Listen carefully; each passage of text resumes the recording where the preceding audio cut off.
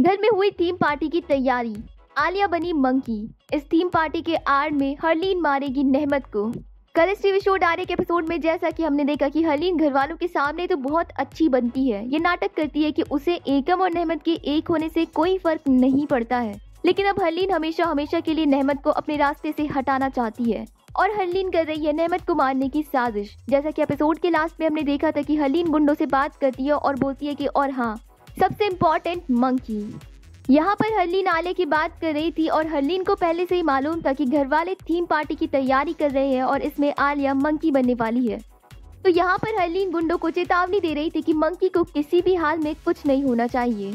तो एक और जहाँ पर घर वाले थीम पार्टी की तैयारी कर रहे हैं, खुशियाँ मना रहे हैं, आलिया मंकी बन रही है।